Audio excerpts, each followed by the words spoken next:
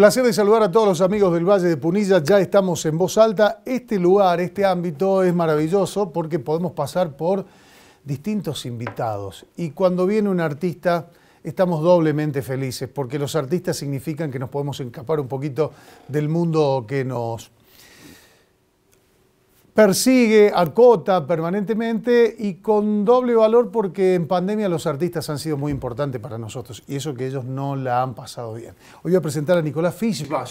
¿Se pronuncia bien el apellido o este presentador lo ha pronunciado bien? Sí, está bien, está bien, Fischbach. Me decías que el origen del apellido tiene que ver con Luxemburgo. Así es, es un apellido de allá, de aquella zona y bueno, yo tengo la suerte de ser de, los pocos, porque no hay muchos acá en Argentina. ¿Qué sabes de eso? A ver, contame de eso. Vamos a empezar por los orígenes. En realidad fue mi tatarabuelo que vino desde allá. Este, mi bisabuelo nació acá en Argentina, se instalaron en Entre Ríos, en, Concordia, en, una, en un lugarcito que se llama Yerua, una colonia.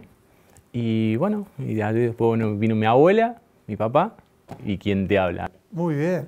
Fíjate, vos estás escuchándote, es la historia de tantos que hicieron grande este país, ¿no? Sí, sí, ¿Qué sabes de ese bisabuelo?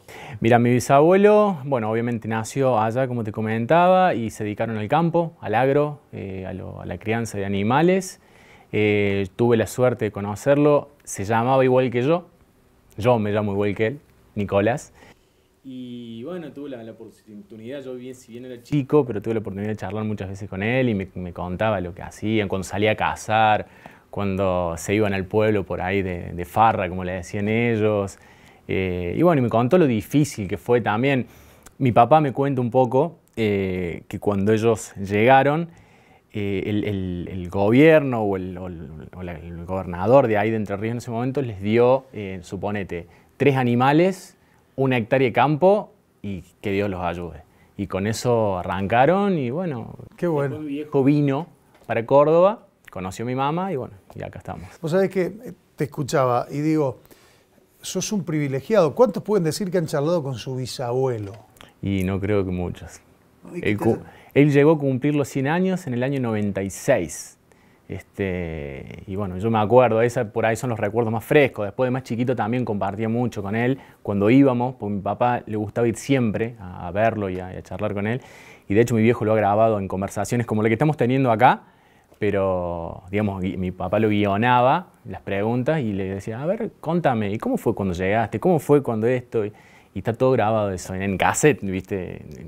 Es, viejo, pero, pero Hermoso. Mira, tu papá sin darse cuenta iba armando la historia o le iba poniendo contenido al árbol genealógico familiar y sin darse cuenta tiene un testimonio de la historia de este país. Sí, tal cual. Ese rompecabezas del país que han armado nuestros abuelos, ¿no? Tal cual, y él también acompañó siempre, además de eso, de, de los audios y demás, fotos. mi papá, por ejemplo, le encanta el tema de guardar las fotos y, tener esos recuerdos y los álbums y, toda la cuestión que nos permite de alguna manera a mí y seguramente a mí después cuando, cuando me toque tener mis hijos, mostrarle y, hacerle, digamos, referencia de dónde venimos y quiénes eran su bisabuelo, su papá, su, su abuelo y demás. Nunca hubieras imaginado que en este reportaje íbamos a hablar de tu bisabuelo, ¿no? No, la verdad que no, la verdad que no y está muy bueno. Bueno, eh, es buena hora que lo pongamos aquí con nosotros porque vamos a empezar a reconstruir la historia de un nuevo artista que hoy, por lo menos nuevo para nosotros, estamos presentando. ¿Siempre supiste que lo tuyo iba a ser la música? La realidad es que siempre viví la música porque mi viejo es, músico, mi viejo era uno de los integrantes del grupo vocal Antigal eh, y digamos, por esa razón yo estaba con él siempre, festivales de chiquito, peñas, me acuerdo que actuaban siempre en el Cabildo acá de Córdoba, para la municipalidad, bueno, siempre andaba. Entonces es algo que yo desde chiquito siempre lo tuve. Eh, el escuchar en casa mucho folclore, el escuchar también música internacional, a mi papá le gustaba mucho Frank Sinatra, Tom Jones, todo ese tipo de artistas. Eh, siempre me acuerdo de un grupo, Los Trovadores, que él me hacía escuchar siempre y que a mi viejo en su momento lo había, chiquito Catramboni, lo había llamado para, para, ser parte. Después, bueno, por distintas cuestiones de la vida eso no fue así. Y, y desde chico es como que tuve la música en mí. Pensar en hacer algo con la música, la verdad que nunca lo había pensado, nunca lo había imaginado. Y fue que en el año 2012, 2013, un día salí a correr Y en esas que salgo a correr, como me gusta salir a entrenar, encontré un folletito que decía Pancho Gallardo y un profesor de guitarra. Bueno, fui, porque me gustaba cantar, yo lo hacía en casa, pero no, eh, no necesitaba un instrumento, no tenía con qué acompañarme. Entonces agarré, fui, le golpeé la puerta a Pancho, le dije, Pancho, mira, me gusta cantar, quiero aprender guitarra para acompañarme. Y bueno, empecé guitarra, empezamos a hacer algunas cosas y Pancho me dice un día, che, voy a hacer una peñita con todos los alumnos que tengo, me gustaría que cantes. Porque a él le gustaba lo que yo cantaba y demás.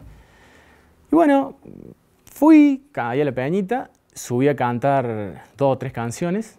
La primera con mucho miedo, porque en mi vida había cantado delante del público.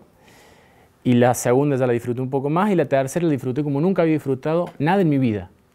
Jamás. Terminó esa noche, volví al otro día a, mi clase de guitarra, como siempre, y dije, Pancho, yo quiero hacer esto de acá en adelante. Eh, quiero que me ayudes. Entonces lo primero que se me ocurrió es decirle, yo tengo algo escrito, algunas canciones, tengo dos canciones que como que recién estaba esbozando algunas cosas. Quiero que me ayudes a, bueno, a desarrollarlo un poco más y quiero hacer como un demo ¿sí? de algunas canciones, tres, cuatro canciones para que me quede recuerdo a mí, a mi viejo, a mis amigos, demás. Bueno, dale, dale.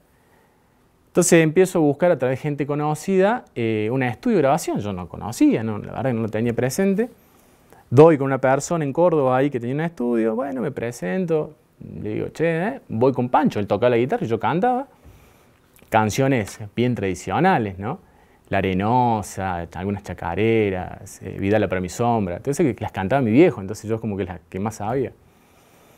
Y de esas tres canciones me llama Marcelo, viste el típico, la típica sala de, grabación que vos tenés el vidrio, me llama y me dice, ¿cuántos temas grabo?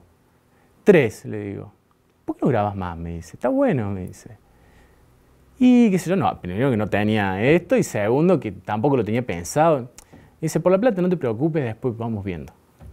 Bueno, la cuestión es que terminé grabando 12 temas, de los cuales metí dos temas míos, y salió, quedó el disco, ¿viste? Ahí estaba el demo. Y esta persona, Marcelo, me contacta con eh, Antonio Cobo, quien era el, dueño de, de EDEM. La cuestión es que en poquito tiempo, no sé cómo, la vida hizo que un disco estuviera ahí. Entonces estaban todos los discos de todos los artistas y había un disco mío. Y al tiempito me llama un productor de acá de Córdoba, que tenía una productora, que se llama Productora París. Me dice, che, Nicolás, escuché tu disco, qué sé yo, me quiero juntarme un café con vos. Bueno, vamos. Y me llama, voy eh, y me dice, te escuché, me gustaría que hagas una fecha acá. Él estaba encargado del armado de eh, todo lo que es grilla en el eh, Teatro Galileo, lo que es hoy el Teatro La Llave, sobre la Gauss. A lo cual, yo te pongo, yo no tenía banda, no había cantado nunca delante de nadie.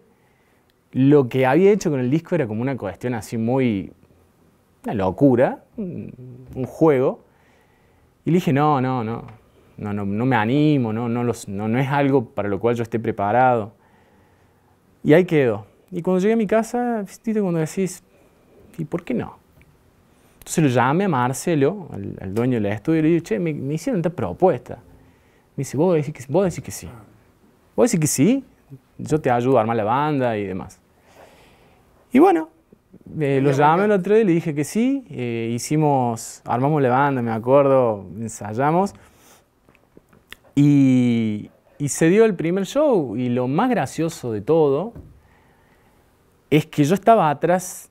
Eh, obviamente, encima el lugar estaba lleno, pero claro, muchos amigos, familia. Era de la nada, de repente estar cantando en un, lugar, un teatro. Y me pasó que yo estaba ahí y hacía este análisis la banda estaba sonando eh, en la intro para arrancar el show. Yo estaba atrás y yo decía, yo voy a salir a cantar por primera vez. Nunca canté delante del público. No sabía cuál iba a ser mi reacción.